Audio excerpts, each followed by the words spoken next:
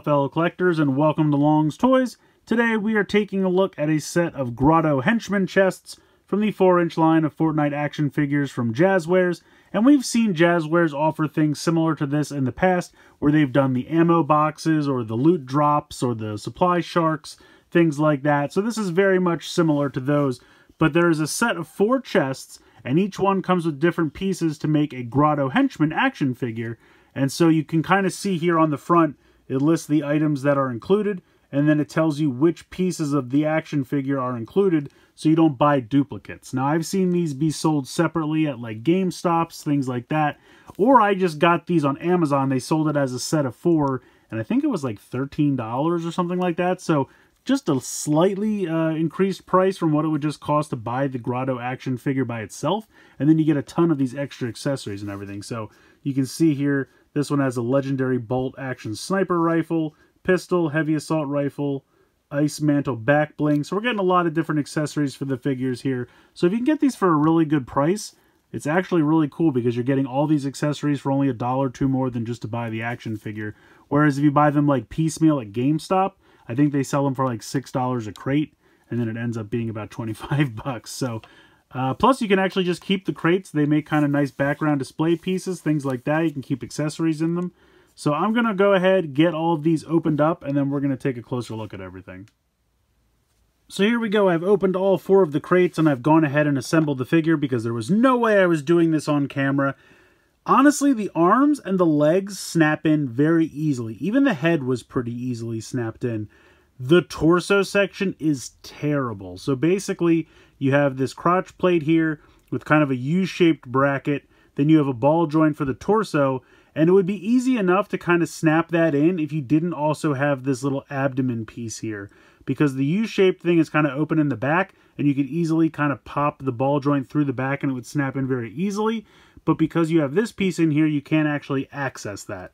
So you have to kind of put this on top of this and then go ahead and just kind of wiggle it back and forth. I tried to straight push it in and it was really just killing my arms and my hands, really hurting.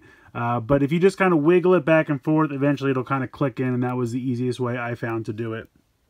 But I will say it's a great looking figure when all is said and done. I love the hood here. I love the mask definitely gives me henchman vibes. I feel like this guy could be working for Cobra or something like that. I think he looks really, really cool. You have uh, all the same articulation that you're used to. You have a hinge there. You have a ball joint for the head. And there's also kind of like a little spot for the like little pieces of his hood to kind of like just perfectly uh, situate themselves right there. You have the bend ratchet, nice ratchet there in the shoulder as well as the rotation. Doesn't have anything in the bicep, but he does have a hinge and a rotation in the elbow. And then, of course, you have a hinge and a rotation in the wrist. You have that ball joint I talked about in the torso there, as well as the waist swivel. And then you have really nice ball joint there in the hip. You have a thigh swivel, double jointed knees.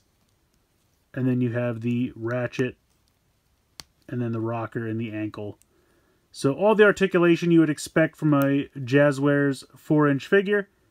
And I love the look of this henchman. I think he looks absolutely fantastic. Like I said, definitely could see him fitting in your G.I. Joe collection. Definitely looks like he could be working for Cobra. Really love the design of this henchman. They do also just sell this as a figure, like in a bubble-on card. So you don't have to assemble them if you don't want to.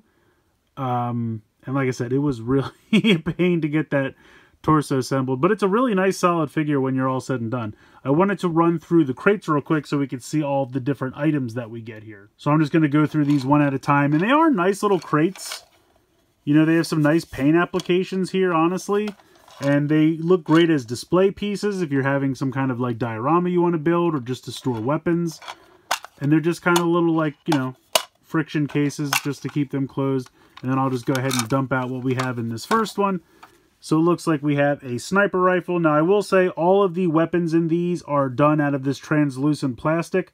They're done in the various colors having to do with the rarity. So gold, purple, blue, green, and then white or clear.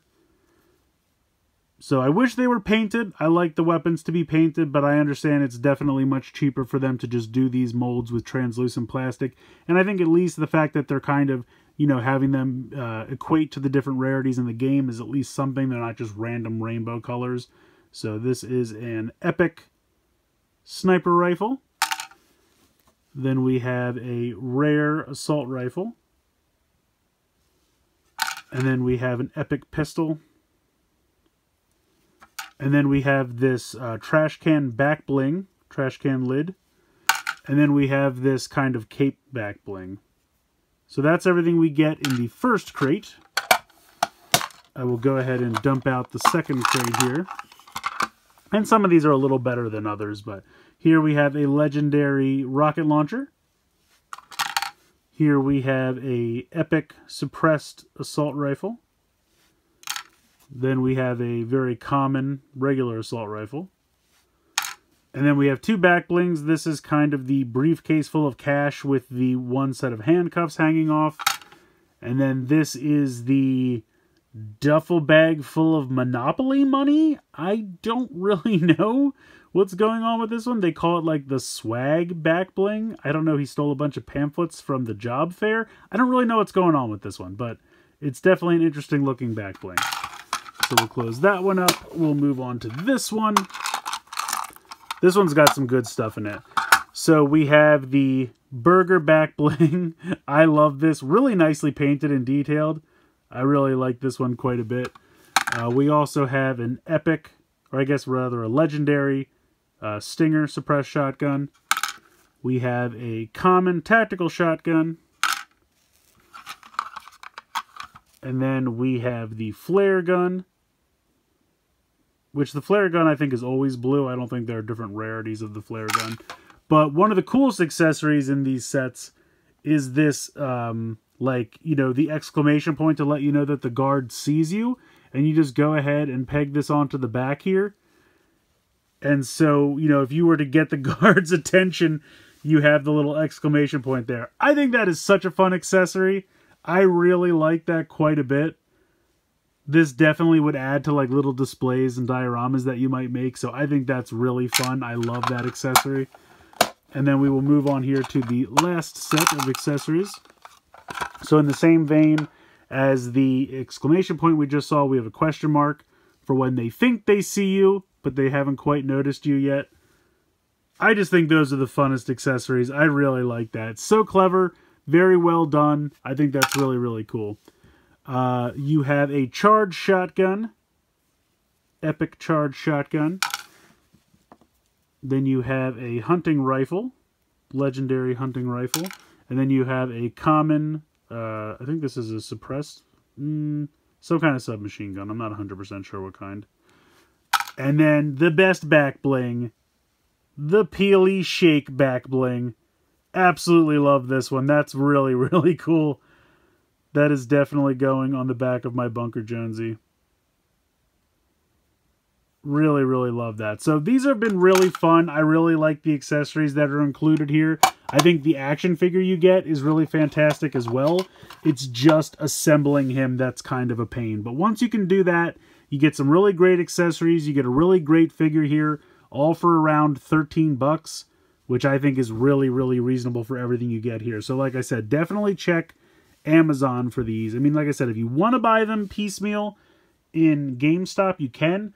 But the other problem with that is they sell them loose, so you have to go make sure you get a full set of four, and make sure you don't get any duplicates. If you buy them on Amazon, they sell them as sets, and then you just, you know, 13 or $15, whatever it turns out to be, they send you the perfect pre-made set of four, and then you just go ahead and put the figure together. So I think these are a ton of fun. I love having these for display. I also love having them just to have weapons storage, kind of keep all my accessories together, which is great. And I really love the look of this figure. I think he looks absolutely fantastic. Definitely kind of want to get a couple more of this guy because he's a great army builder. So I think he looks absolutely fantastic. But let me know what you guys think in the comments below. Please like, share, and subscribe. Hope you guys enjoyed this video. And as always, thanks so much for watching.